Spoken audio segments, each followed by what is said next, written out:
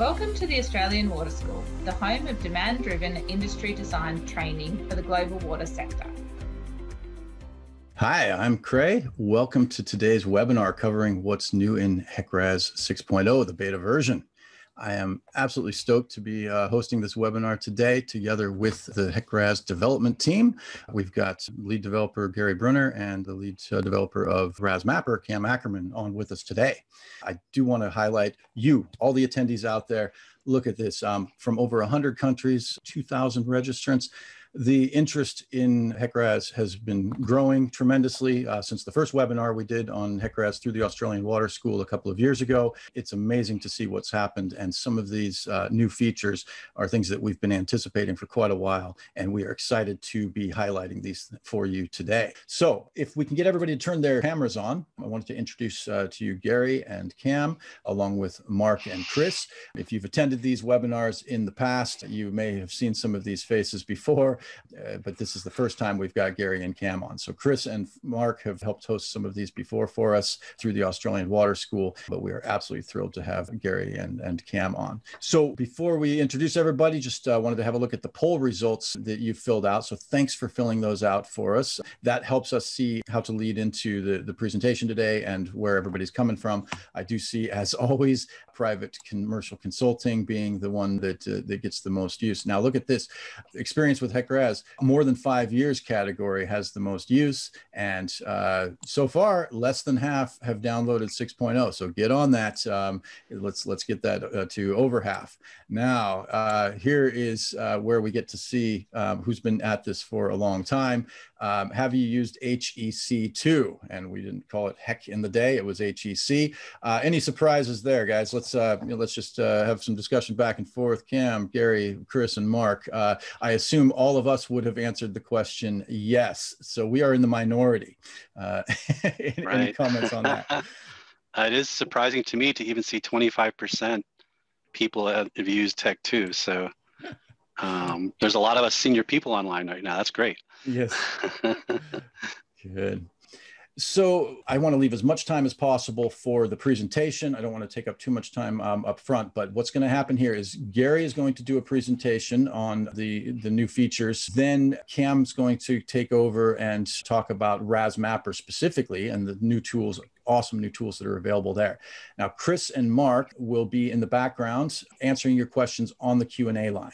So uh, the whole time, this is going to be interactive. And then we'll all come back on at the end and, uh, and answer some of these questions live one thing that we're going to point out the ras solution uh, youtube page which uh, chris will put a link up to in in the chat line um, we've got three hours with Gary, including some guitar solos, awesome stuff that you want to see, uh, where we can cover these things in more detail there. Um, and so, some of the questions that you may have, and some of the things that we only touch on briefly, will be covered in more detail and in a, um, a live demo setting there. So, um, do check that out. And I've noticed that we are at 4,900 and something subscribers. So, subscribe to that one. And if you are the 5,000th subscriber, there's a special gift coming your way. So, uh, take a screenshot screenshot if you're the one at 4999 and you become the 5000th subscriber. Uh, maybe we'll bring you on to the vodcast um, uh, to the full momentum vodcast to uh, give you a little congratulations and pass along some promotional gifts. So do do get over onto that one and subscribe. Um, i most of our videos on there um, you know it takes takes us a while to to hit um, 20000 views but youtube sends me these notices with the channel stats. And within a couple of days of when gary came on we had 20000 views. Um, I was like, wow, this is really big. And then I realized the 20,000 views, yeah, it was really big, you know, maybe a couple thousand, but the 20,000 views were Chris, your, your shot of the elk. So before we uh, sign you off, uh, maybe just describe what happened with the elk real quick. I have no, I had no idea how popular elk running on a beach would be, but uh, apparently that's a very fun thing to look at. So uh, yeah, it just happened to be uh, on a beach during a particularly very high king tide, and this herd of elk just ran on. Of course, I was there to view all of the uh, the hydraulics of of the uh, the surge coming in and out. Uh, and then this uh, herd of elk ran out in front of me and uh, almost got killed by it. Fortunately, they all survived, but uh, it's a really cool video. But I personally think the interview with Gary is way cooler. So let's get some more views on that and and stop watching the elk, if you will. Exactly. all right. Sounds good. We'll hit RAS Mapper then, um, and we'll we'll go in in reverse order. All there right. we go. Okay, we can see that. So I'm going to turn my video off. Uh, the other presenters again will be in the background answering your questions the whole time. So over to you, Cam. All right. Well, um, Gary and I are excited to be here. Looks like Gary's machine's a little more excited than I am. And as with most things, uh, I have to save the best for last. So Gary's Gary's going to have that opportunity to close. Uh, we're going to spend a little bit of time talking about HEC-RAS 6 and some of the new things you can expect to benefit from from RAS RAS Mapper. So just three small categories we're going to talk about today. Uh, the first one will be some uh, general editing tools. We'll get into uh, terrain modification tools, and then we'll talk about what we're calling the raster calculator uh, near the end of the presentation. Before I really get going, hopefully my buddies are out there watching right now. Uh, I wanted to make sure that everyone understands that the RAS team, while we're a, we're a pretty small group of individuals working on a pretty uh, special piece of software, uh, these two gentlemen, Alex Kennedy and Anton uh, Rodersieren, are two two of the key uh, players in the RAS Mapper development. So I want to make sure that everybody knows that uh, even though Gary and I might be doing the speaking, there's a lot of other people in the background uh, helping make the project go. So the first set of things we're going to talk about are just general editing tools that we've added to HEC-RAS. As RAS has RAS Mapper has grown, we've tried to make the interface provide more in interactive features. One thing we've changed is we're still the layers that you're working on in RAS Mapper, the selection of the layer you're working on is a key component. So we really want to highlight what layers being worked on. So we're going to be highlighting over in the table of contents a little bit better. Uh, so you know which layer you're actually working on. I myself as a power user, I still end up trying to draw a cross section on the river center line every time I go to edit edit my data set. So um, just something else to give back to the users. You'll also see in the new layer list, the layers here that are in gray, we're trying to identify to users that are trying to review models, where do I need to go look for data? So nodes that are in black indicate that data exists. Nodes that are in gray indicate uh, they're available for editing, but there may not be any data there, or there is no data there. We've also tried to uh, instill some data management over in RAS Mapper to allow you to not only edit your data, save it as another uh, data set so you can make a, a slight modification, uh, delete an old geometry data set, or create a new uh, geometry directly from RAS Mapper. So there's a little bit less going back and forth between the geometric data uh, editor and RAS Mapper. And then the third bullet I've got here, and probably the most important, is the ability to auto update features. Uh, so when you're editing in RAS, when you are creating a new feature in RAS Mapper, every time you move that new feature, it gets updated with elevation data, bank stations, reach links, whatever, whatever data you have available. Once you've saved that data, we treat that as a existing data set and the data will not update. So if you like your river stations, but you just want to modify your cross section, uh, coming in here to what you want to update or what you do not want to update. In this case, uncheck the river stations checkbox. Those river stations will be fixed and uh, you won't have any data bus with your flow data. So again, if you're trying to make sure your data does not update, you'll want to come in uh, to the geometry properties and select the data that you wish to update and the data that you do not. We've added uh, all new structure capability. So any layers that you need in RAS, we now have the capability to lay them out geospatially. Specifically, the layers I've got here on this slide, we're talking about hydraulic structures such as bridges, inline structures, lateral structures, and the SA2D connection. Uh, pumps are also geospatial. So not only are you going to define uh, an actual feature, which is listed on the left, you'll also be able to de define how that feature is going to interact with RAS. So if I have a bridge, does it have a culvert barrel? If I have an inline structure, does it have a gate and a culvert? And so on.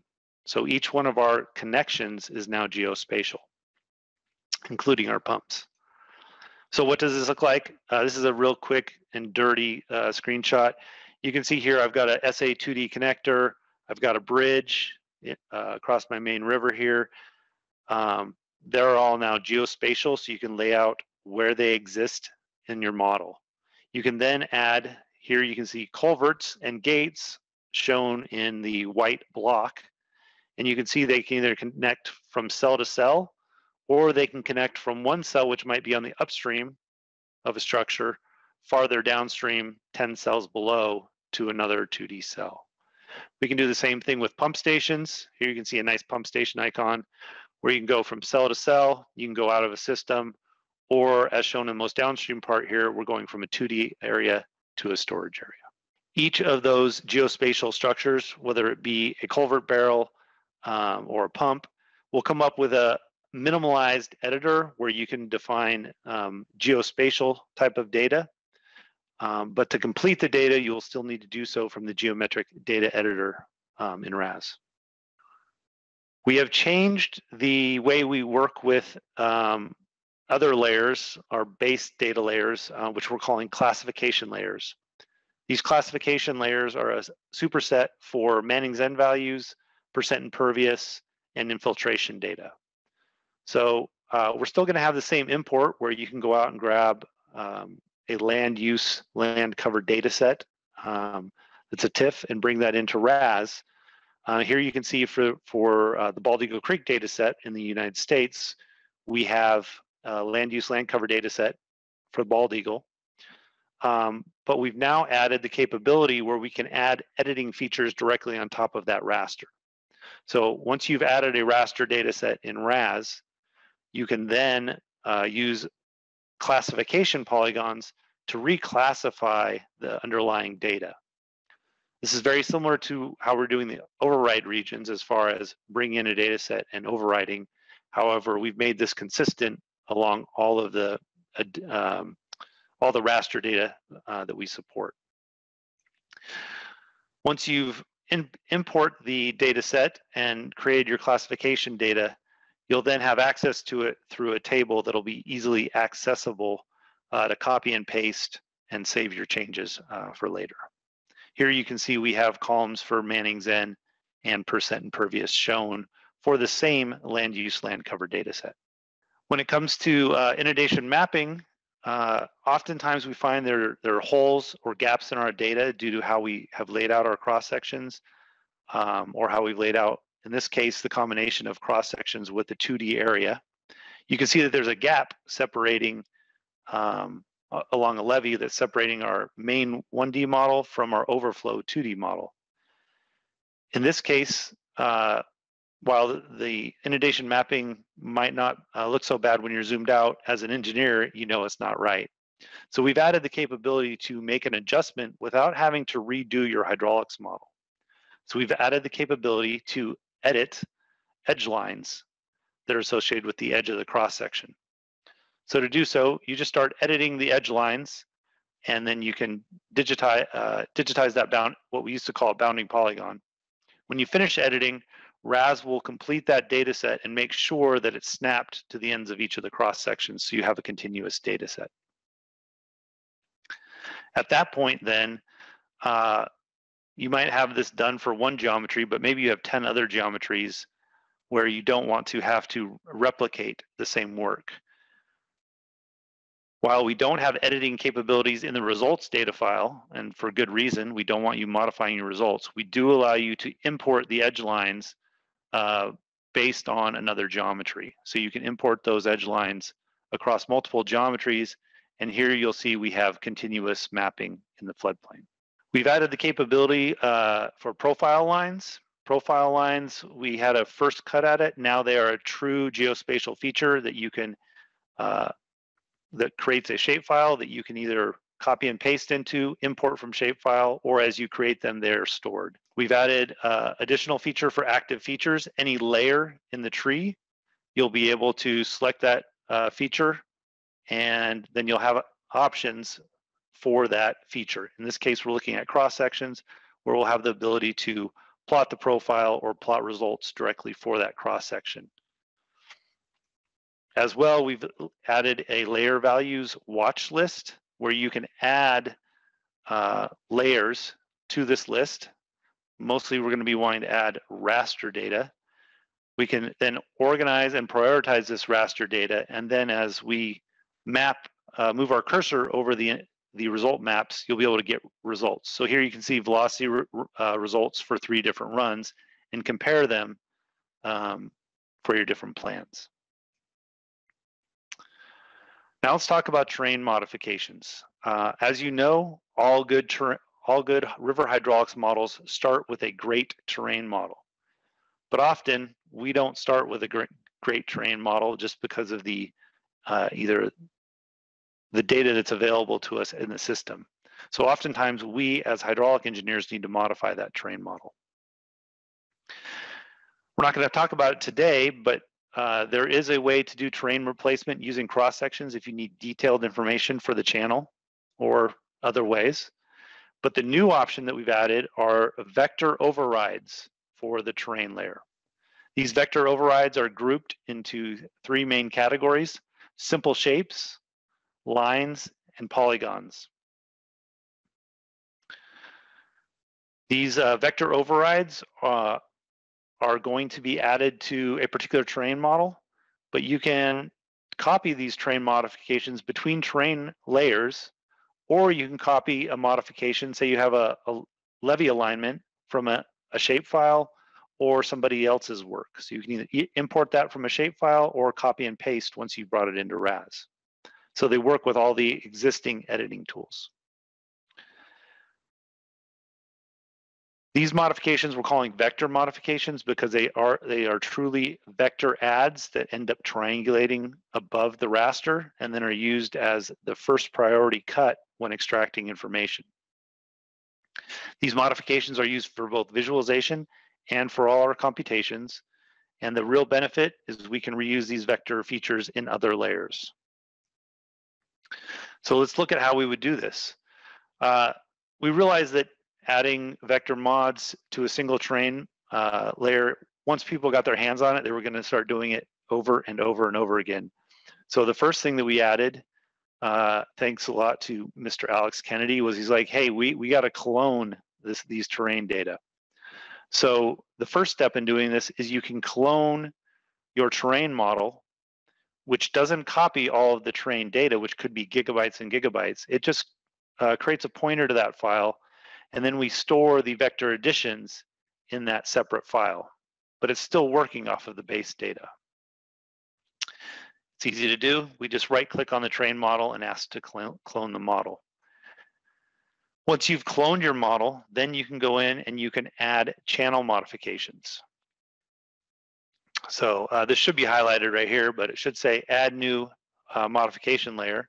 And when you add the new modification layer, you choose whether you want to use our simple shapes, our lines, or our polygons.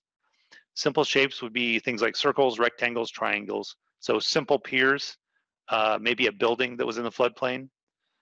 And then we have a more advanced option called elongated piers. And elongated piers, I'll show you what that looks like in a bit, but that allows you to have different shapes to the nose. If you're choosing the line option, you can use high ground for a levee, or you can use channel uh, for a river channel. And then we have more complex features, uh, which we, we're calling polygons, which are going to allow you to choose a multi-point shape as shown here in this pond. Here's an example of a simple shape used for a pier where we've simply added a circular pier in the channel. We've got four piers that are added. Um, and as you can see over in the tree on the left, we have a terrain layer with a modifications layer, and here we've chosen to add piers. In this example, I've got a more complex pier where I've got a triangular nose on a triangular nose on one side of the pier. It's a long pier, and then on the uh, leeward side, I've got a rounded nose. So those are both options available to you uh, through a simple editor, where you simply choose a simple shape elevation, uh, pier width, and then define what you want the noses to look like, and whether you'd like to use a, a, a long pier or just a rounded one. For high ground, uh, we start to get a little more complicated. Here we've got a simple line, which we're going to use to represent our levee. Once we've added that levee, then we can define a template, in this case, a top width, side slopes, and extents for that shape. That shape will follow the, the levee alignment based on the river stationing or the, uh, excuse me, the levee stationing that we've specified. Here we have a levee that goes from 943 feet in elevation down to 941. You might be asking, uh, what if I don't want to digitize that by hand? How do I get it in?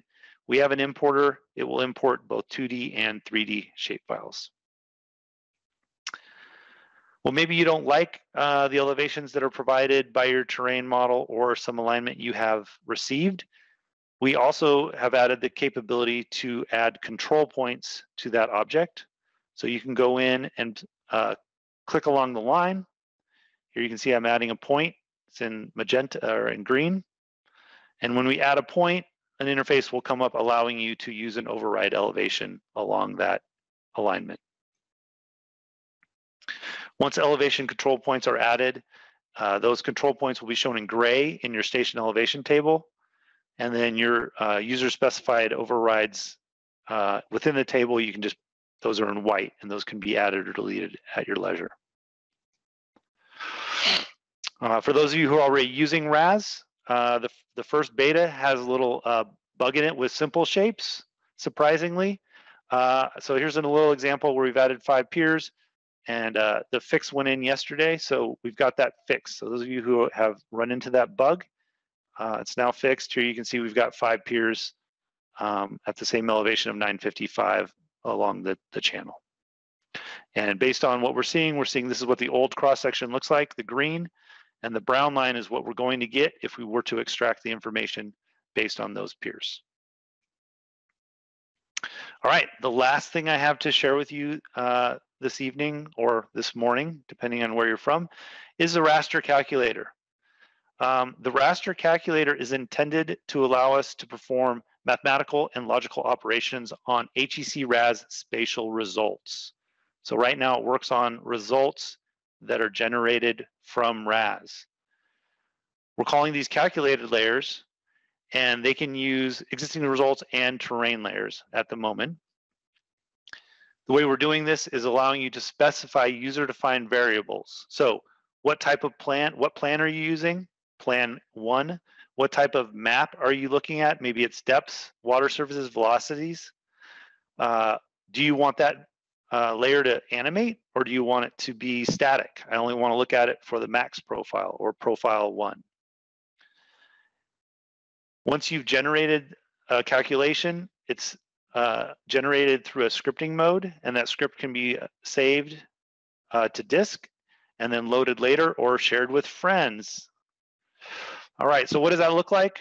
Well, simply, uh, RAS needed a good way to compare water surfaces. So here's an example of comparing plan one to plan two, where I'm just comparing water surface elevations.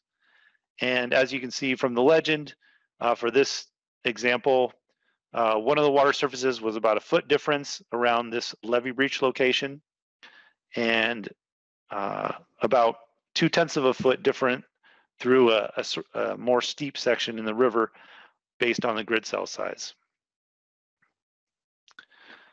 How do we do this? To generate um, a layer, we come into the raster calculator and we define what script we might want to use. So in this case, we've got three scripts that are shipping with RAS to give you a blueprint for creating your own.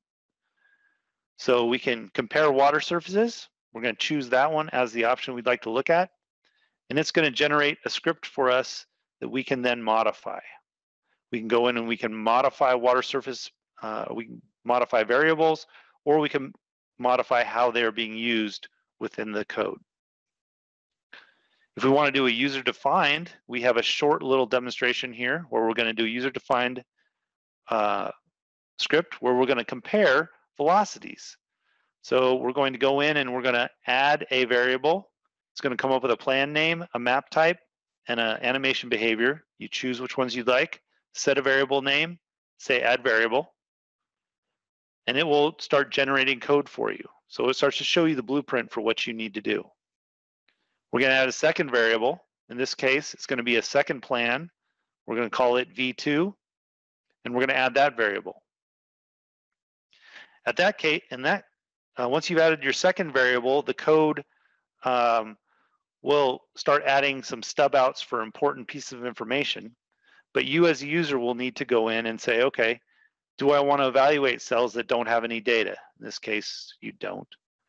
If my velocity doesn't have any data, then what should my velocity be considered? Is it no data or is it zero? So simple uh, programming checks that you need to add. The goal with these scripts are to have a good user community where we start to uh, see dozens of scripts being generated that people tend to use all the time. We can ship those with RAS and they'll be generated automatically for you. The last little bit here is once we've got that layer exported, or uh, excuse me, once we've got that layer generated, we're often going to want to share that with our friends and family, or maybe our co our coworker. Uh, in this case, we've got our velocity comparison. We want to push that down the road uh, for engineering to to look at. So uh, we've added the capability to export those to a raster that can be used within a GIS of your choosing or uh, within another RAS project. Lastly, before we finalize, we've also added RAS online documentation. Um, so if you go to hec.usace.army.mil slash confluence slash RASDocs, it'll take you to the uh, user's manuals that we have online. This documentation will be growing um, as we have more and more finished. And uh, right now, the best thing for you to know about are known issues. If you're wondering if you're having that issue, uh, go to the known issues page and we will be uh, updating those as bugs come in and we are fixing them. So at this point, I'll allow, I'd like to say thank you for your time. Uh, I don't know if we have time for a question, but if not, I will turn it over to Gary. Yeah, I think what we'll do here real quick is just see which uh, questions have been promoted the most while, um, if you stop sharing yours, Gary, if you can try sharing your screen, make sure that's working. Um, but while while we're talking here, I'm just looking at the Q&A line. Thanks for all those questions coming in. Awesome, Gary, this is going to work, so uh, we're good. Um, but as the questions have come in, um, keep them coming. Um, we've got uh, the experts on the line, Chris and Mark uh, from HDR and from Kleinschmidt, um, answering our questions here live as you put, type them in. Uh, they've been frantically uh, putting their responses in. Uh, the, the ones that have come out on top are uh, about the looks looks like with the most promotes and uh, and and advancement up there with the most thumbs up um, are the ones about uh, GPU and and Mac versions. So just go ahead and have a look at those answers um, if you're interested in that. Um, Chris and Mark, before we turn over to Gary, anything that jumps out at you that that you wanted to highlight from the Q and A that you've hit so far? Wow, there was so much that was coming in. I, I, was having a very tough time keeping up with everybody. So I apologize. Um, we couldn't get everything answered here, but uh, a lot of the questions I think are going to be answered in Gary's segment coming up. So stay tuned for that. Um, there were quite a few questions on the raster calculator and uh, terrain manipulation. Um, but I, I, think that there's not really one that stood out. There's just a lot of them in there. I don't know if this is something we can work on later to, to yeah. cover. But now uh, we'll cover we'll cover those in detail in the Q and A. And just just keep in mind that on the RAS Solution um, uh, YouTube channel, we do have tutorial videos on each of these things, uh, including the raster calculator, including terrain modifications. Um, so that that'll be available to you there. All right. Well, um, this is the the prime time show here. Um, so Gary, thanks. We can see your screen. Uh, the rest of us will tune out um, and keep frantically answering questions. Okay. Uh, we'll all come back on when you're done. So over over to you. All right. Before we get too far in, I'd just like to mention that Cam mentioned a couple of the RAS team members, but there's actually eight of us on the RAS team. Myself, uh, Mark Jensen, Steve Piper, and Cameron, who you know, Stanford Gibson, Alex Kennedy, Alex Sanchez, and Anton Rotter Sierran. And these are kind of their main focuses of what they're in charge of on the team. What am I going to cover today? Well, I'm going to cover um, spatial precipitation and infiltration. We're going to talk about bridge hydraulics and 2D flow areas. We're going to talk about wind forces. Um, we also have a new 1D finite volume solver. I'm going to talk a little bit about that. We've added a third equation solver for 2D, which we'll talk a little bit about that and why. Uh, pump stations inside 2D flow areas, computational speed improvements for 2D, and then uh, briefly a video on the 3D visualization tool. So let's jump right in. Um, spatial precip. So we now have the ability to do both gridded and point gauge data. And if you're doing gridded, obviously you get a spatial grid. And we have three formats we can accept for gridded data. Um, our HEC has its own database called HEC DSS, and we store grids in that database. And we have a program called HEC MetVue, which is also a free program that can ingest gridded data and write it to HEC DSS. So you might want to download MetVue uh, if you're going to work with gridded data. The other two formats we have are, are um, GRIB and NetCDF, which are, are produced in the, States here by the National Weather Service. Um, if you don't have gridded data, we also allow point gauge data. And the, the main reason for adding point gauge data is that maybe you want to look at a historic event where you didn't have gridded data. So you can add point gauges, and there's different ways to get that data in there, uh, HEC DSS or just into tables. But if you put in point gauges, it still creates a grid by interpolating those data from those point gauges to the cell level. So in the unsteady flow data boundary conditions editor, there's a new tab. Well, there's a couple of new tabs, but there's a new tab called meteorologic data. And that's where you're going to go to enter this spatial precipitation data. So right away, there's a thing that says precipitation and evapotranspiration. You're going to hit the drop down and hit enabled. When you do that, the window will morph and you'll get some more information. And you'll see this meteorologic variables in this precipitation area. And then you can pick the mode. Is it going to be gridded or point gauge? Or you can just enter a constant if you want. Once you say, let's say in this example, gridded, then you got to pick the source. Is it going to come from DSS or is it going to be one of these other raster files? Um, so right now we're, we're kind of limited on different formats we can ingest, but that's probably going to grow over time as people present to us formats they'd like to be able to ingest as gridded data for rainfall. Um, for point gauge data, you've got to first create uh, point gauge stations. So if you're going to do point gauge data, you create these stations first. And here I got um, some bunch of stations created. And in addition to that, you have to select how you want to interpolate. So we've got a bunch of different interpolation methods. Um, but the reality of it is point gauge data is just not very good spatial information, which is why we prefer to use grids. But and any kind of interpolation method for point gauge data is not going to be great because it's really trying to interpolate only based on the few points that you have and really doesn't know what's happened in between. But we've got a bunch of different methods. We'll talk about some of them here in a second.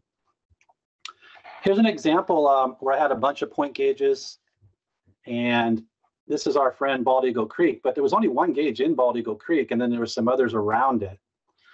And this is using the Thiessen polygon interpolation method, which is kind of analogous to hydrology modeling for subbasin areas.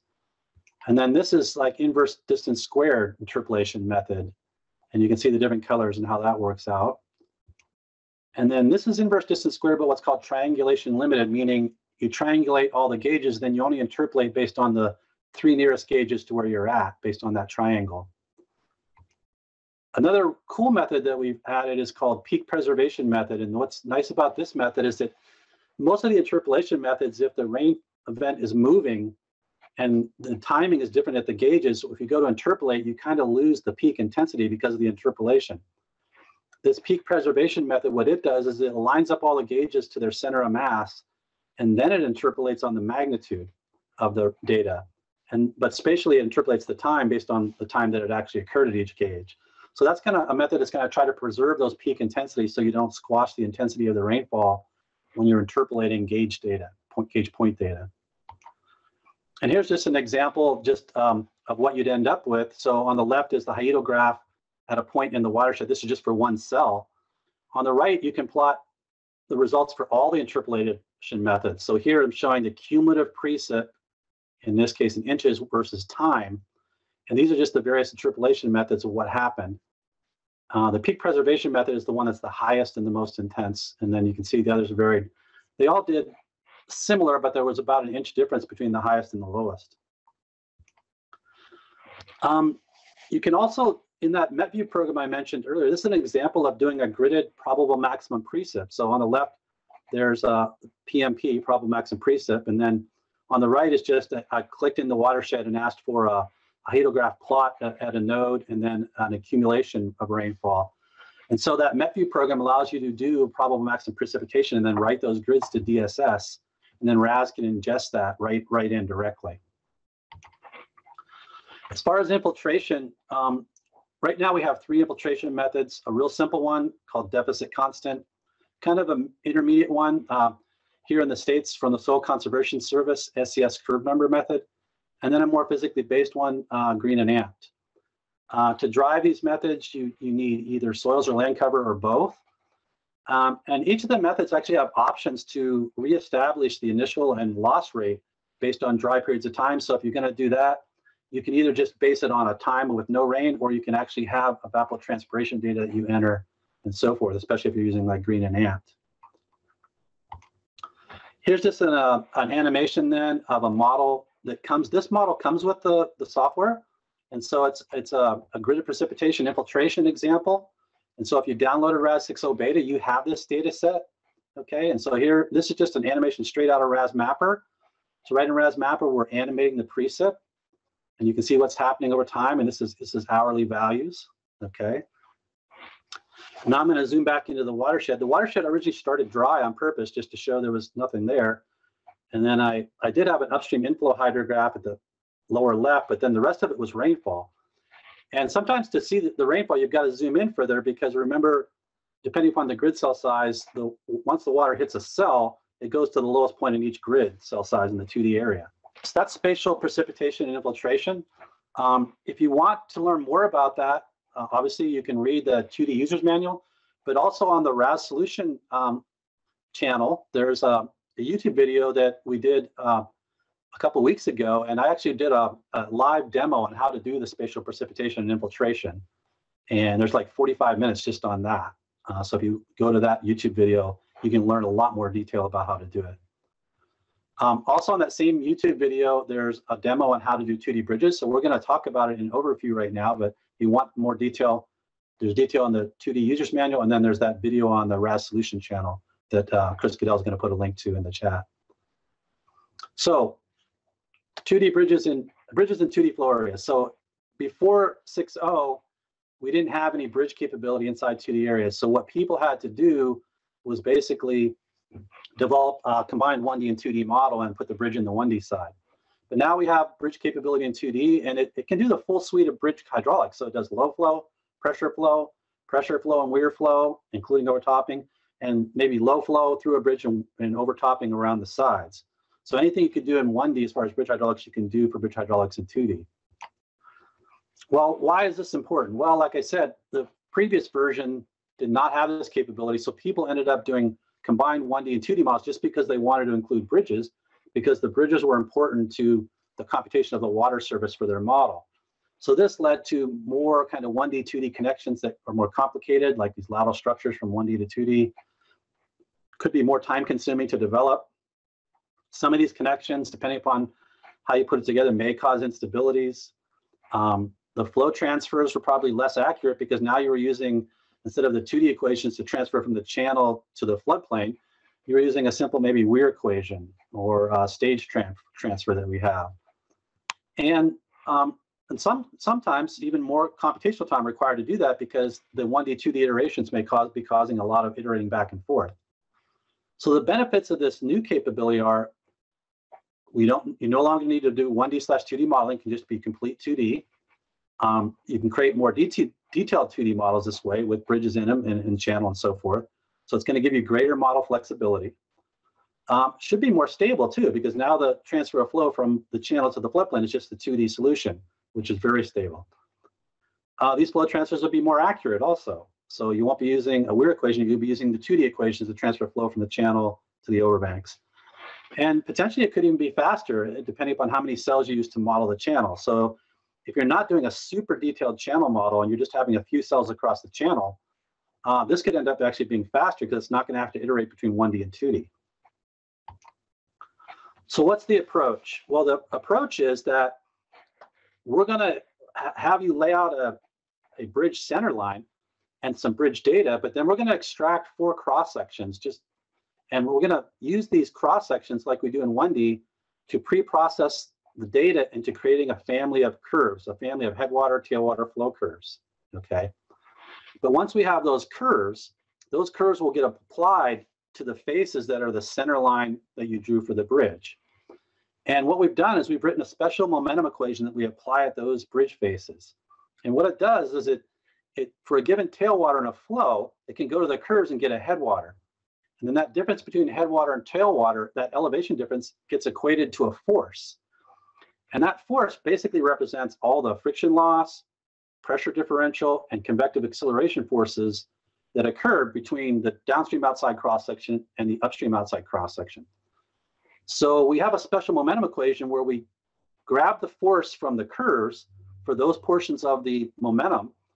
But in addition to that, there is the local acceleration term, though, that gets calculated on the fly. They changed an acceleration with respect to time. That's not pre-processed, okay? So this special momentum equation then gets most of the force from the curves, but computes partially of the force on the fly. And then it distributes that force between the faces depending upon how much flow is it going through each face in the conveyance. Okay, so the cool thing about this is when it actually solved this bridge, um, it's still solving it in 2D the whole time.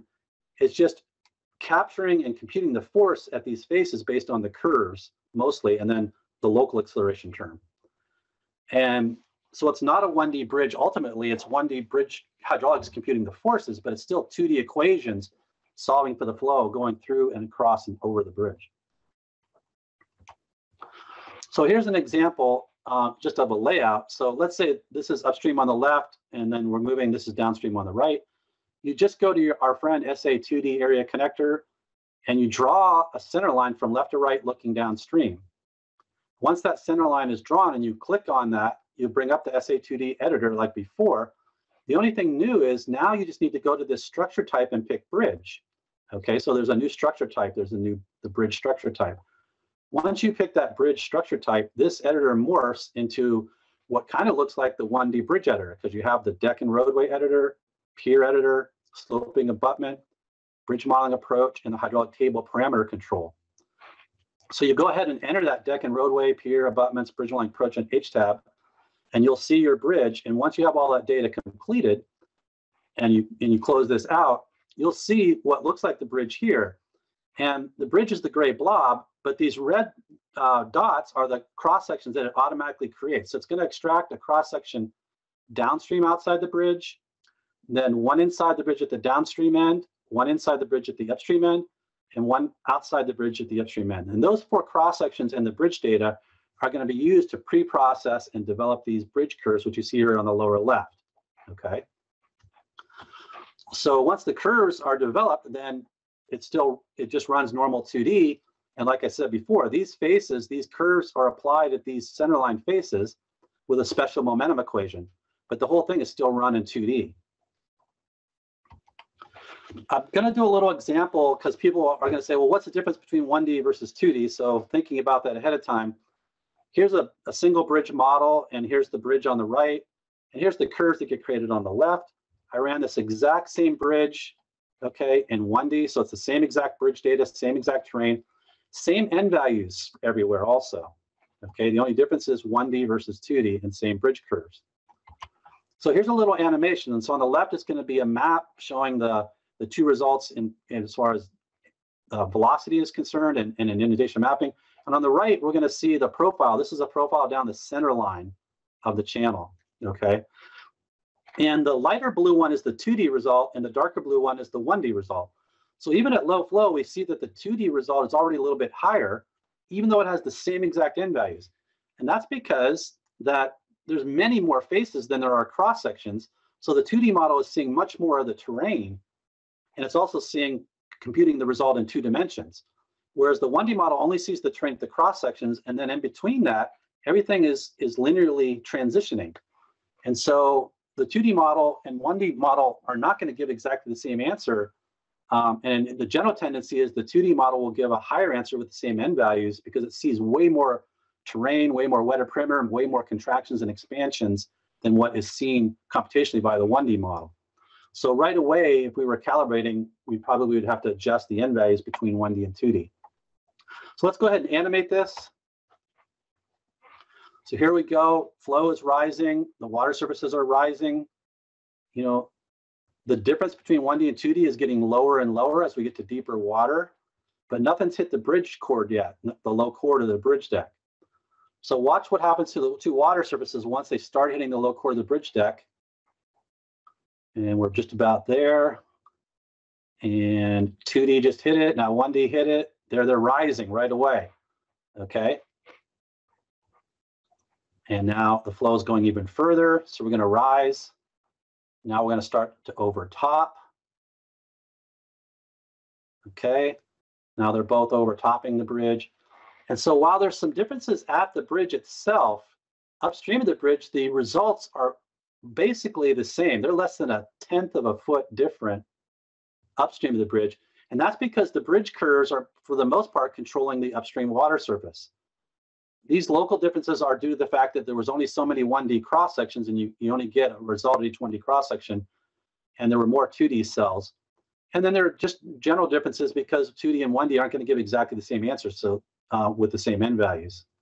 Okay. And then here's an animation. This data set comes with the, the software also. It's our friend Bald Eagle Creek. There's a plan in there that has seven bridges in one plan. We're just going to look at two of them. But here's a plan view looking at the results for a couple of bridges in that Bald Eagle Creek data set. Here's one that's highly skewed. You can see the water going straight through. And I'm colorizing this based on velocity. And then I got the velocity tracers turned on. You can see the flow patterns of the flow coming through the bridge, the eddy that forms to the right. And this one downstream, you can see the contraction of the flow through the bridge and the eddy that forms on the left-hand side and so forth. So again, remember these bridges can handle both low flow, pressure flow, pressure plus weir flow, complete overtopping, okay, uh, in 2D. So that's 2D bridges. Let's talk a little bit about wind forces. Uh, given that the time we have, I'm not going to do much on wind forces other than say that we've added wind capability to both 1D and 2D. Uh, we have it in our 1D older finite difference capability, and we also have it in the new 1D finite volume capability, which I'm going to show in a minute.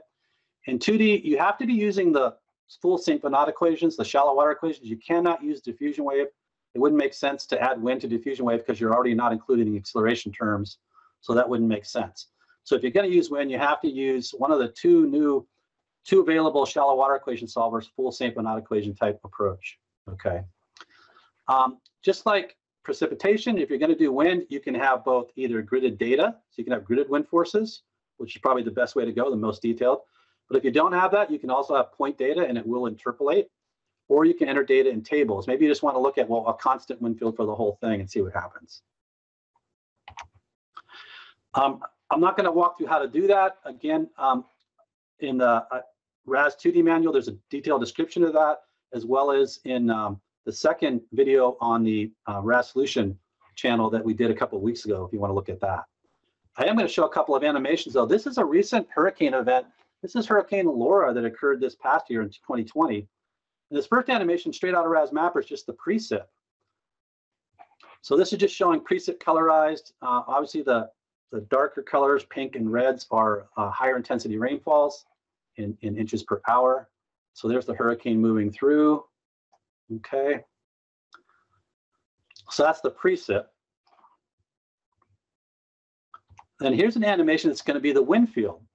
So before I start running it, this notice this uh, legend on the right, we've got very low ends like zero, this light green, and we're going to go up to dark red, that's 180. This, this wind field actually goes over 190, and it's about feet per second.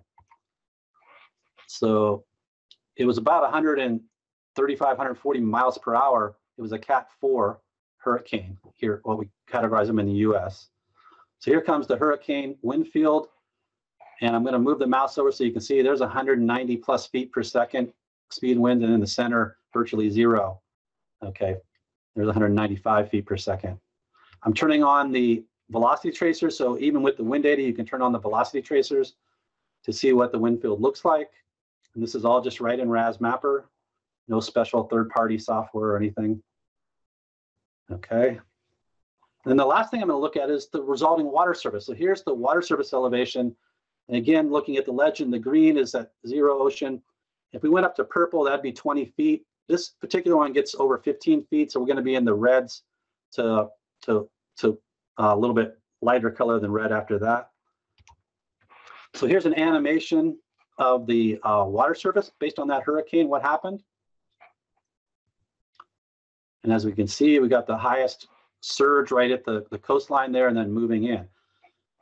When this is finished, now I'm going to hit the max water surface. So this is a maximum water surface that occurred regardless of time. And then I move the mouse and you can see we got to about 15.3 feet for max water surface right there at the coast. Okay. All right, so that's winds. Um, the next thing I want to talk about is the 1D finite volume solution. So I think mostly the stuff we've been working on is 2D, but um, our 1D unsteady flow solver is pretty old. And after we had our success with 2D with the finite volume solution we use in 2D, we had the idea, you know, we should apply this same finite volume solution algorithm to 1D. So we did that. And the benefit of doing that is you're now going to be able to start your channels completely dry and then wet and then go back to dry. So complete wetting and drying in 1D now, just like in 2D. Very stable, low flow modeling, which wasn't true of the previous finite difference solution solver. Can handle extremely rapidly rising hydrographs without going unstable. It does subcritical to supercritical and hydraulic jumps right out of the box. No need to turn on a special mixed flow option like you have to do with our older solver. And then at junctions, it actually does a mini 2D solution for a single cell right at the junction, which we'll talk about here in a second. So a lot of benefits to this new 1D solution algorithm. So looking between cross sections, what it does is it breaks up the left overbank, the main channel on the right overbank into three finite volume cells. Now, at each cross section, the water surface is still horizontal, so it's a 1D assumption of the water surface, but there's three different um, volume cells, okay, that water can transfer back and forth between. And the left overbank channel, right overbank, each have different lengths in calculating that volume. As I mentioned a minute ago, at junctions, what we're going to do is we're going to create a 2D cell. And we do that by connecting the ends of the cross sections. So your, your cross sections and your reaches have to be spatially correct and drawn correctly. And then it connects the ends of the cross sections and it forms a single 2D cell. And then the flow coming at the cross sections are the bounding faces of the cells. Flow can come in and out of those faces then. And it's going to solve actually the 2D equations for that junction cell, even though it's doing a 1D solution. So at junctions, it does a single 2D cell. So here's going to be an example. Our, again, our friend Bald Eagle Creek um, and we're going to start completely dry with Bald Eagle Creek. And then we're going to bring in this hydrograph on the right. So it's going to start at zero. It's going to go up to 50,000 CFS and then back to zero. So here we go, starting dry. And here's the animation. There's the water going through. It's hitting the peak. Now it's coming back down. In the upper right, you're going to notice it start to dry out here in a second once we get back to zero flow. And no trouble whatsoever. So no trouble wetting it, no trouble drying out uh, really stable solution with this new 1D finite volume solver. Here's just a comparison for that same run, but starting with a base flow, because I'm going to compare the 1D finite difference, which can't start dry or go dry, because it'll go unstable, uh, with the 1D finite volume for the same hydrograph, though, with a base flow. So here we go. Okay, you don't see much there. It goes up and it goes down. In red was the finite volume, and in blue is the finite difference. But let's look at it from a hydrograph perspective. So the this left hydrograph that's in blue with the squares is the inflow at the upstream end. Then the um, pink hydrograph is the outflow at the very end of the river reach from the finite volume method. And the green dashed one is the outflow from the finite difference, the original 1D solver in RAS. The timing's about the same, peak is about the same. There are some differences though. Here, the 1D finite volume shows up a little sooner, so it's a little bit quicker on the rising side of the hydrograph, a little bit different shape and then it falls a little faster on the falling side of the hydrograph. So not the same exact results. So that is something you need to be aware of. If you switch a model from 1D finite difference to 1D finite volume, you're not going to get exactly the same results. You should get similar results, but not exactly the same. So if your model is calibrated, you may have to recalibrate your model to get as good as results as you think you should be getting. So keep that in mind. Here's just an animation for a bridge. So you can see that it works through bridges also. And I'm showing both the, I'm going to show both the 1D finite difference and 1D finite volume. The 1D finite volume is the one with the uh, triangles, and the 1D finite difference is the solid line. So you're seeing there are differences. Even away from the bridge, there's some differences because it's really a different approach, okay, uh, where we're solving for water surfaces and in the cells, which are between the cross sections, uh, and only solving for momentum at the faces, which are the cross sections. And so that's very different than our previous 1D finite difference solver, which solves everything at the faces, water surface velocity, et cetera. Okay, I mentioned at the beginning, we've added a third 2D solver. So previous version, we had the diffusion wave and what we call the shallow water equations or solver. And our previous solver, um, on some instances, could have a little bit of numerical diffusion. And most of the time, if your cell size was small enough and time step was correct, it wasn't a, a problem at all. But if you're using larger cell sizes and larger time steps, then you started to get some numerical diffusion. So we thought, well, what the heck? Let's add a third solver that's much more momentum conservative. So that's what we've done. And so uh, it's a more conservative discretization of the acceleration terms. And it, it's semi-explicit. So the one thing about that is it's going to require, in general, smaller time steps than our previous solver, which probably means it's also going to take longer to run. Um, but you get what you pay for, so to speak. So and it's just an option. Um, I'm going to show some examples, and where you're going to use this is on on locations where you really are looking and want a tremendously detailed maybe velocity and water surface through maybe like a structure or a really sharp contraction or expansion, et cetera, et cetera. Um, and maybe we're looking at some detailed analysis or even design. So here's a, um, a comparison. On the left is the original uh, full equation solver. That's what FEQ stands for, FEQ. And on the right is the new solver. And this is an instantaneous dam break. And this is actually a lab data set. So this black line is a wall of water at time zero. And then it's instantaneously, the gate is instantaneously released upward. It was actually on a spring to, to take it out of the water column. And then the orange squares are five seconds later, the yellow triangles are 10 seconds later, and then the red, I mean, the green circles are 20 seconds later. And then the solid lines are the computed results. So you can see the original full equation solver did quite well at the negative wave propping upstream, but the positive wave downstream, it was a little late. And so some of the velocity was being um, squashed a little bit uh, during this solution, okay? And so there was a little bit of numerical diffusion of the velocities. Um, so on the right, though, same exact problem, but new solver, you can see at both five seconds, 10 seconds, and 20 seconds, it's absolutely tracking perfectly the observed data. And the, the leading edge of that, that flood wave for this instantaneous dam break, right on, spot on. So the momentum is, is conserved um, much better here than it was here. Now, I will say that most of the time we don't do have dam breaks that are instantaneous dam breaks over a dry surface. You know, that's the kind of thing we do in lab studies and analytical cases. Uh, in real world dam break problems, our original solver works just fine because generally you're not, you don't have an instantaneous dam break. It occurs over some time, okay? And uh, generally there's water in the river system already. And so that was never really an issue for real world problems. It's more of these analytical solutions and lab cases that uh, people were talking about. So we decided to add a, a more detailed solver for that. This is just um, mixed flow where we have a subcritical going to supercritical and then a hydraulic jump over a bump. The top is the older solver, the bottom is the new one. I would say both of these are good solutions to be honest, because they both have the correct water surface upstream and the correct water surface downstream. But here, the measured data, actually it's an analytical solution is in orange and the model results in blue. And the older solver, you can see that it tracked quite well, went supercritical, but the jump occurred a little sooner than the analytical solution said it should have, okay? Whereas with the new solver, it's still not perfect, but it tracks the, the going to supercritical flow and down quite a bit uh, further and then goes through the jump, okay? So slightly better result. But personally, from a, from a model application approach, both of these are good results, okay? Just the new one's a little bit better. Then the last example I'm going to show is a sudden expansion.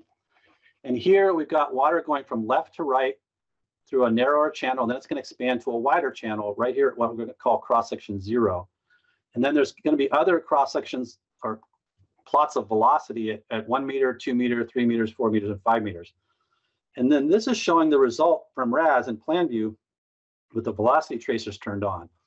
And for this lab data set, the lab data showed that the flow expanded back to fully expanded at about 4.6 meters. And you can see RAS is, is, is able to do that. And it was able to do that with the current solver as well as the new solver uh, as, as far as getting this 4.6 meters correct. Okay. So now what I'm going to show is the velocity plots compared to the lab observed data. So the observed data is in squares, the, the model results are in red. On the left is the original full equation solver. On the right is the new solver. So at cross section zero, cross section zero, remember, is right before it expands, okay?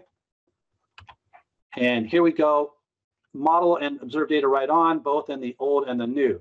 Then one meter downstream where it's starting to expand, the old solver started to lose a little bit of the high velocities. The observed velocities were a little bit higher than the model, but the general trend, very good. New solver showing tracking those higher velocities better. If we go to two meters, Again, the old solver losing a little bit of the velocity, but not bad. This is still a good result at cross-section location two meters. New solver though, better, tracking those high velocities and also tracking the negative velocity. So what do I mean by the negative velocity? The negative velocity is down in here. So we have this recirculation pattern. Positive velocity is from left to right, but negative velocity is from right to left. So at cross section one and two and three, there's going to, and four even, there's going to be some negative velocity for that lower part of the recirculation zone. Looking at cross section three meters, the old solver losing a little bit of the high velocity and not tracking the negative velocity as well, whereas the new solver right on on the high velocity positive and very good on the negative velocity. Same thing true at cross section four and then five. Okay. Um, new solver just does a better job. Now this result on the left, that's the original solver, that's actually a good solution. I've seen lots of 2D models that have run this data set have done worse than this. Okay. But then the solution on the right is, is a bit better. Okay. So the point is two solvers now, if you're really going to want really detailed velocity distributions through tight contractions and expansions and structures, you might want to try this new solver and give it a go. Computationally, it's going to require smaller time steps, probably going to take a little bit longer to compute, but maybe not. It depends on the data set, so try it out. But so now you have three uh, 2D solvers, diffusion wave, our original shallow water equation solver, and then our new one, okay? And you can read about those in the 2D uh, user's manual on that also. Okay, pump stations, we're not going to spend too much time on this, but we've added the ability, we've always had pump stations, but RAS hasn't had the ability to connect pump stations to 2D cells. So now you basically do that by entering X and Y coordinates for drawing in the pump where it goes from and to, and you connect from 2D cell to another 2D cell, from a 2D cell to a storage area, or from a 2D cell to a 1D river reach. Here's just an example where I have a pump station on the left. It has two pumps. One's pumping from this cell to this cross section. The other's pumping from this cell to that cross section, but that's one pump station with two pumps. And over here on the right is another pump station with one pump. It's pumping from a cell to a storage area, a 1D storage area. Here's an example where I've got a pump station and the, the, the black lines are the pump lines. Here I'm pumping from 2D cells down here to 2D cells up here. So all I'm doing is taking the water from here and pumping it up this hill and then releasing it and letting it run back down. So that was just an experiment. The pump data is the same. The only thing new is the X and Y coordinates of how you draw the pumps. So you actually have to draw the pump from where you want the water to go from to where you want the go water to go to. It could be a straight line or it could be a multi-point line. It's up to you. So that's pumps for 2D. Let's talk a little bit about computational speed because 6.0 is quite a bit faster than 507. So if, I don't know how many of you tried out 6.0 yet, but just out of the box, you share, your same data set is going to be quite a bit faster solved than, than 507. Well, how do we do that? Well, a couple of things we did. Um, RAS was previously using what we called a non-symmetric uh, matrix solver, but our mesh generation capability makes the metrics makes the matrix symmetric. Except for occasionally if a user messes around with a few points, they can get a few cells that are slightly not symmetric. But we decided that assuming that they were symmetric wasn't really that big of an error. And so since our mesh generation forces a metric, the matrix to be uh, symmetric, it's a pretty good assumption. And by doing that switch, we were able to, to switch to what's called a symmetric positive definite solver. And with that assumption, there's less math to do then. And so if there's less math, it's going to run faster. So the, the matrix solver is faster. In addition, we did further parallelization work in between time steps. There's a lot of things that happens um, as far as computing coefficients to set up the matrix, et cetera, et cetera. So we did some further parallelization work. And, and the net result then is here I've got a table of a bunch of data sets on the left, how many cells are in the data sets, whether it was the full St. Venant equations or diffusion wave, and then how long did it take to run in 507 in hours, minutes, seconds versus 6.0? And then this is simply, simply the speed factor. It's, it's the 507 time divided by the 6.0 time. And so data sets here vary from very small to some that are on 100,000. Here's one that's 162, and then here's one that's 2 million cells, okay? And then you can see the speed improvements. And if you average all of these, it's about 1.5. That means 6.0 for these data sets was 50% faster than 507 right out of the box with no changes to the data set whatsoever, just rerunning. However, another thing we did is we added some new matrix solvers. Our current solver in RAS 507 and 6L, the default solver is called a Pardiso direct solver. It's really a good solver for as far as stability and volume accounting, but it's not the fastest solver. There are some other solvers called iterative solvers, which have the potential to be faster, but they require some user-based tolerances, and those user-based tolerances we've set defaults for. But they potentially can have cause less stability, meaning if you have a model that's running but's going to the maximum iterations a lot, in other words, it's on the verge of instability, but it runs on the current version. If you turn on one of these iterative solvers, that might push it to, over to the top where it goes unstable. However, if you have a model that's running very stably and, and not really having a lot of iteration trouble, you switch to one of these iterative solvers, you're probably going to get a lot of speed improvement and get basically the same results. So I ran all those same data sets. So now here's 6.0 with the original Pardiso solver. Here's 6.0 with an iterative solver. And now here's the speed factor of 6.0 iterative solver versus 507. So some of these data sets like this one, um, this is an EU test 8A, which is a standard European data set test, 4.7 times faster. Okay. Um, on average, twice as fast. Okay, several data sets in here more than twice as fast. A couple were slower. So the ones in red were actually slower than the 6.0, meaning the speed improvement was just 6.0 with Pardiso was greater than 6.0 with the iterative solver. So three of these, actually the iterative solvers were slower and the Pardiso solver was faster. Okay, last thing, 3D visualization. Um, as Cam mentioned, there's you know there's a lot of people on the RAS team, and this is something that I've wanted for years, and I've I've seen other people do it in third-party packages with RAS results. I thought we, we should be able to do something right inside of RAS. So um, Anton, our youngest computer scientist, we put him to work on this, and and we're not done with this, but what we've got is quite quite cool. So I'm going to go ahead and animate. So you, what you're going to see is you can get um, an animation. Here I'm doing a breach through a levee inside of Bald Eagle Creek. Okay, and it's colorized based on velocity. And you can turn on the velocity tracers, but every the terrain and the water surface is, is 3D. The other thing you can do is then you can fly through this. So here we are, we're going to fly upstream. And you can predefine flight paths. So you can have a flight path already drawn and then have it just follow it. Okay. You can plot different layers. Like here I'm plotting velocity, but you can plot depth. You can plot water surface. Okay. Um, you can turn on the velocity tracers, turn them off. And so right now we have three-dimensional terrain and water surface and velocity, et cetera. And that's what's in 6.0. Where we hope to take this obviously is, is um, you know, buildings and three-dimensional structures and then draping over it um, aerial photography. So it looks like the actual um, area that you're looking at. But it's kind of cool to look at stuff in 3D. Uh, it gives you another perspective of your model and the results of your model. Okay. So I'm going to go ahead and let that play, but that's the end of my um, talk. And if there's any questions, we can maybe start into that.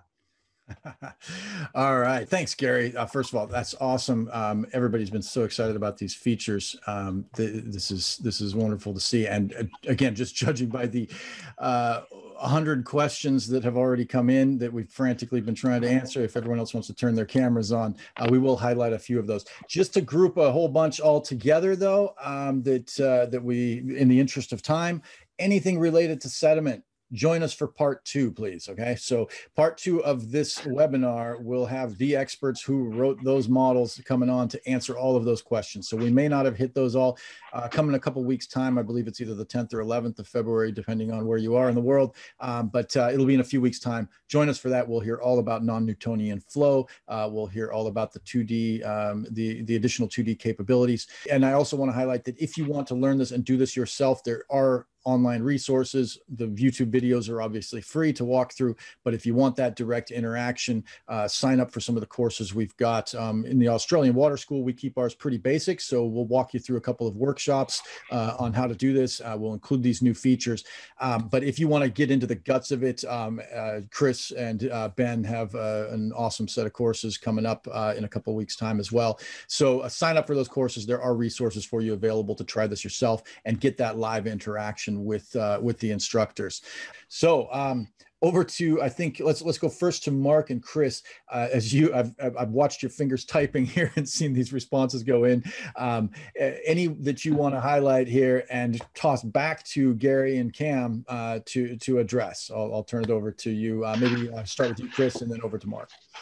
Sure. Yeah. A um, lot of great questions. Uh, as Krey uh, mentioned, it was very hard to keep up with them, but I appreciate all the interest here. And uh, so I tried to answer as many as I could, and I saw Mark was doing the same. And we even got some other participation by uh, some of the developers and others out there. But uh, one, uh, or there was a few of these questions, Gary, I'll throw to you, but um, questions on uh, n values on 2D cell faces and when you might be able to vary those n values across a face but also vertically uh, with varying depths of water? Sure. Um, we had hoped to get spatially varying embeds across the face in this version, but it just didn't work out. So that'll be in a future version shortly.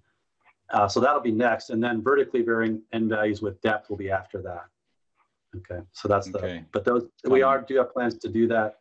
Um, just hasn't made it quite yet. And uh, here's another good one that I'm particularly interested in. But what about gate rules in 2D areas? You know, currently they only work for cross sections, but what about uh, for 2D areas? No, you can do it in 2D too. We've added a new capability. Um, it's in in RAS. So in the geometry editor, there's a a, a new button at the top to. Um, I always forget the name of these. Um, they're basically like monitor points, okay, um, that you can add. And if you put those inside of 2D cells, then it'll monitor the water surface with time at those points. And then you can go have a structure in 2D and you can write rules for it. And then you can query at every time step, well, what's the water at this point? What's the water at this point? So you give those user-defined points names, okay? And then you can refer to those points and, and ask, well, what's the water surface right now there? And so then you can write rules against those water services. The next step is we're going to be adding the ability to, uh, from the rules, query the profile lines, which we don't have yet, but then you'll be able to query a profile line and say, well, what's the flow at this profile line? Okay. You can query the boundary condition lines, though, currently. So like the inflow boundaries and the outflow boundaries, what's the flow there? What's the water service there in, in rules? So you can write rules for 2D structures and you can query 2D results, but right now it's water surfaces inside the 2D cells and then flow only at the boundary conditions um, and, and the structure itself. The, you can query the flow at the structure you're writing the rules for also. Great. Cool. Um, uh, Mark, anything uh, that you, that you've highlighted, and uh, just before we go over to you, just introducing Marty Teal real quick, uh, who teaches our sediment transport courses um, and is very familiar to those on the call here. Um, just uh, familiar face here to us. Um, he, if you'll, you'll see him if you want to sign up for the sediment transport courses as well, and he's been also answering questions on the chat line. As have I've seen some of the other members of your team, Gary, um, have been answering questions as well. So thanks to everybody out there who's been answering them. Mark anything stand out to you? And thanks for the help, Marty. Um, one of the questions that came up, uh, Gary, was related to uh, bridges in, in a tidally influenced area where your flow, you may have flow reversal and how it handles yeah. that. Yeah, no problem. So the water can go in both directions through the 2D bridge, just like in 1D. And the same thing with the new 1D finite volume. So you can have water, you know, if, you, if the tide's rising, it'll go upstream. If the tide's falling, it'll go downstream. So uh, it goes both ways. Okay. Now it does apply the curves that get generated in both directions. So one, one simplification is the curves are computed from downstream to upstream with those cross sections. So tailwater is considered downstream and headwater is upstream. It's not going to recompute the curves. It's just going to use those same curves, but it's going to use them in the other direction. Okay. So that is a, a bit of a simplification, but it's not too bad. Good. Um, anything else uh, jump out at you? Uh, we can just throw a couple of them out there, but um, looking at the ones that have been upvoted the most, um, you know, gridded precipitation is something that everybody's looking for data sources on. Um, we'll we'll compile some resources. And one thing I want to point out to everybody who's uh, asking questions here is uh, we won't get to all of these uh, today, but we will have this list on hand, and we've got your contact details, and we can respond to you uh, directly with with some resources. And and we'll, we'll paste a few links in here as well. So free for all. Um, any any comments, questions? We've got about ten minutes to go here. What's another good one that I think uh, maybe Gary and Krey, you guys can both address, but uh, question on where you get gridded precip data. The question was specifically about Australia, but um, what about uh, elsewhere? I'll leave it to you guys. Well, in the U.S., the obviously we we get we get gridded precipitation data mostly from the National Weather Service, and we can get it for free. Okay, and then there are commercial companies that also, to, you know, sell um, gridded products, um, which I'm not that up on to be honest, since I don't generally pay for that data.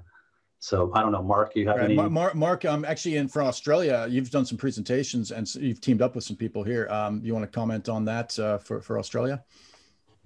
Um, yeah, I'm not sure about exactly what data sources in Australia, but uh, gridded data sources can be generated from from radar data as well. Um, and that's one of the things that our MET team does uh, is develop gauge adjusted radar rainfall data. Uh, one of the other questions that came in too was regarding the use of, of um, forecast data. So using a forecasted gridded data set from the National Weather Service is also an option of being able to, to forecast a, a, a future event. Um, and then observed events can be done from, from either the uh, uh, gauge adjusted radar product from the National Weather Service or can be, uh, or can be further re um, refined through a through a GAR process using somebody that's got those skill sets. Uh, Marty's uh, firm has has a very skilled person as well, David Curtis, that does that as well. Um, one of the other questions that came in, Gary, that I, I think is, is worth hitting on is is the uh, wind the wind influence, wind the flow the the wind field influence on the water surface and the ability to calculate wave run up, which is a very localized phenomenon on a on a uh, feature at the edge of your water body. Can you touch on that topic? Sure. Like if you have a, a reservoir that has a very long fetch, you know, and you get winds in the right direction, you can get quite a bit of wave run up. And you can do that in 2D. Um, you can do it in 1D too, but the 2D answer is going to be much better. Um, we added 1D because the Tennessee Valley Authority, who, who actually paid for this feature, thanks to them, uh, have a, has a lot of models of lakes that are 1D, but we very quickly said, hey, well, if we're going to do this, we want to add wind in 2D also because it's going to be more accurate. And at some point, you're going to want to switch those 1D models to 2D models, and you're still going to want wind uh, capabilities. So, uh, but yeah, you can you can do that on things like reservoirs and so forth, and capture the the wave run up if you have you know a refined enough grid, and you apply the the wind field. So, uh, so it's about like anything the more the water surface changes or the velocity changes, you have to have the right grid cell levels to capture that, right? Um, so RAS does have subgrid technology for the cells itself and the faces, but you still only get one water surface per cell and one average velocity per face. So if you think about it in that terms, uh, and how detailed you want to get with the wave run up on a structure, then that will dictate what cell size you need and what kind of time steps you may need to run, depending upon the wind field and how it's changing. Cool. Sounds good. And I think one, you know, we've got about five minutes to go. We may hit a few other of these questions, but um, time frames, I, I, know we don't like to commit to those, but that's one of the most upvoted questions, of course, is time frames for uh, the, the, the full release. Um, I, I, am I'm, I'm sure we can't commit to that based on uh, some of the comments are still coming in on the beta testing period. Uh, but yeah, and the and future versions, just kind of give us a a, a layout of um, how many years in the future we're looking at uh, for some of the next versions and features coming up. Sure.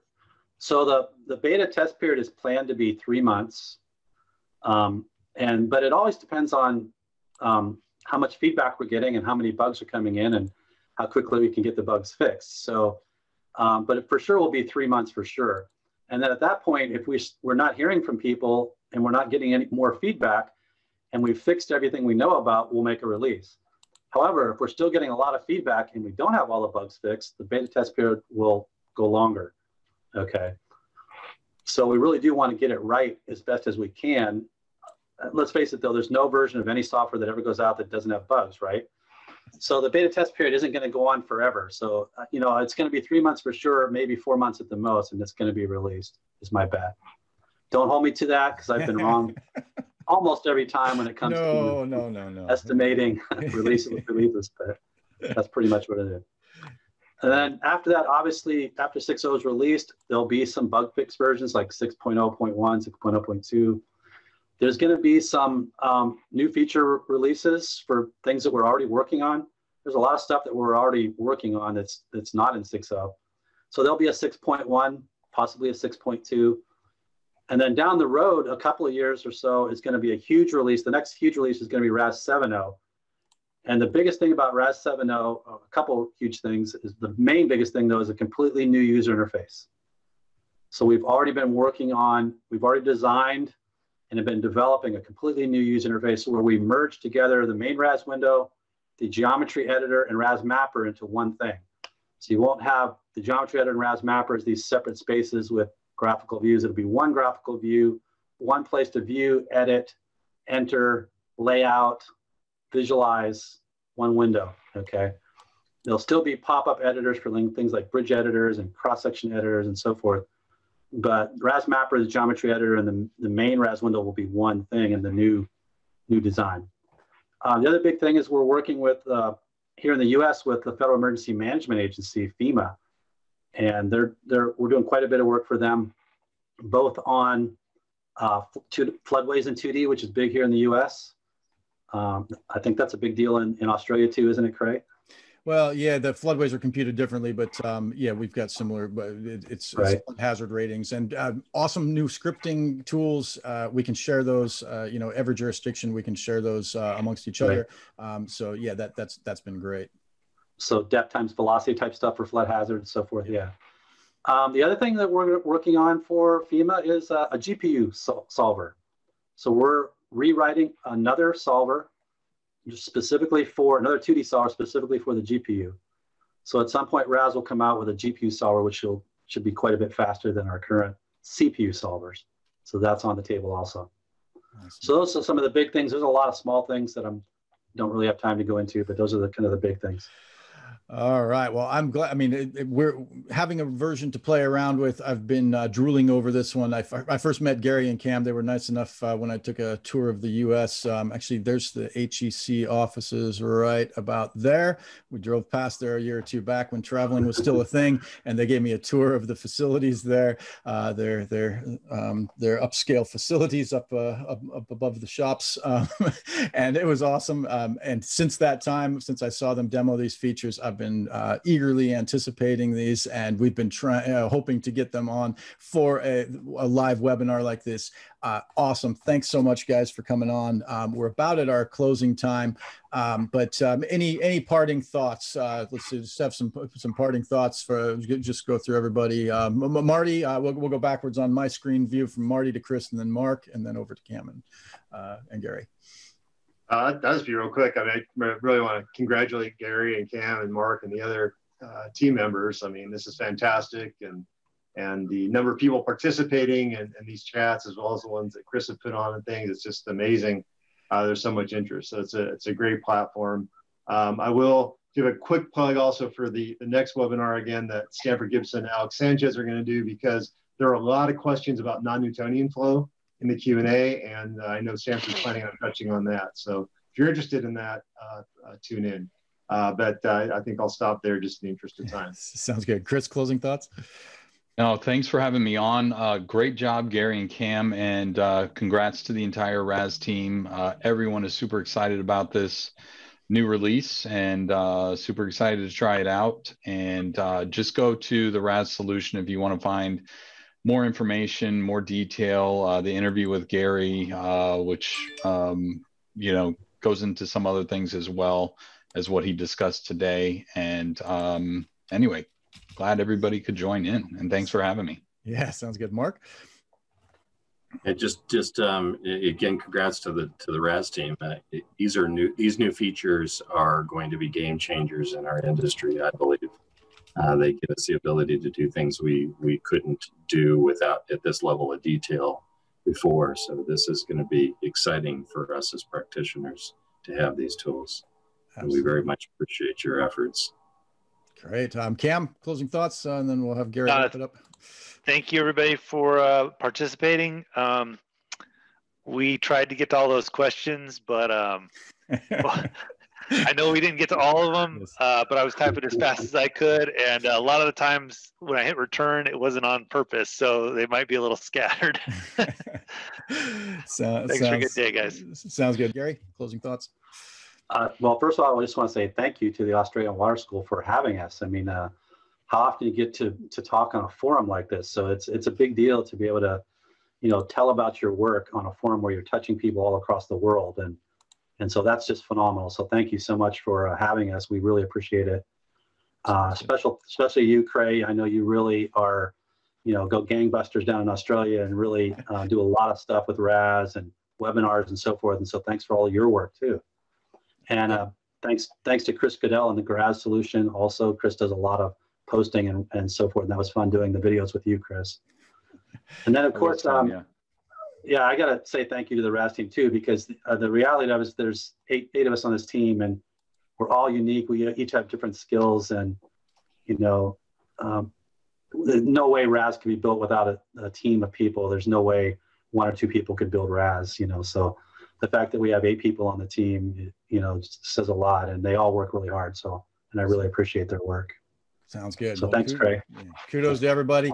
Um, it, there, this is this is HEC-RAS, but you know everything we're learning here. This is a wider community. The Australian Water School webinars. Um, I recommend everybody watching uh, the TUFLOW webinars. Um, the concepts are the same. They'll help you as a HEC-RAS modeler. They'll help you as a TUFLOW modeler. Uh, they'll help you with all the other packages that you saw listed there. Um, you know, this is a global community. That map says it all, really. Um, that that map, you know, thousands of people around the world tuning in just for this one, and then there are other packages like this. We're all just trying to do the best we can in these uh, kind of tumultuous times. Uh, get water where it needs to go. Keep water away from where it might cause some harm. Um, let's do our best to further the uh, the technology and the knowledge in the industry. One way you can do it is by signing up for these courses, which you'll see here. Um, stay in touch. Join us for our upcoming webinars. Uh, the, these these are going to be a lot of fun, and uh, we we look forward to further interactions with you. So thanks so much for tuning in to this extra long session we had, uh, but we wanted to uh, leave enough time to squeeze everything in um, and highlight everything. You got all the resources you need um, with with courses and uh, videos out there. So let's let's get to heck razzling. So with that, um, have a look at these screens, fill out the survey, and we're signing off. Thanks, guys. Thanks for watching. Subscribe by clicking the link below and click on the notification bell to stay up to date with new releases. For the latest in significant, innovative, and critical advances in water science, technology, and management, subscribe now. To build your skills, enhance your technical knowledge, and learn from leading experts in water, visit theaustralianwaterschool.com.au and discover our online training courses, both live and on demand.